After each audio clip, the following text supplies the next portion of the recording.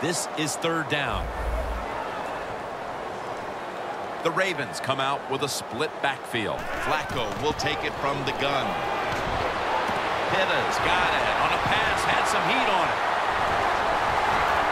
No one's going to get him now. The 10, nobody was going to catch him there. Touchdown. And with the fourth quarter fast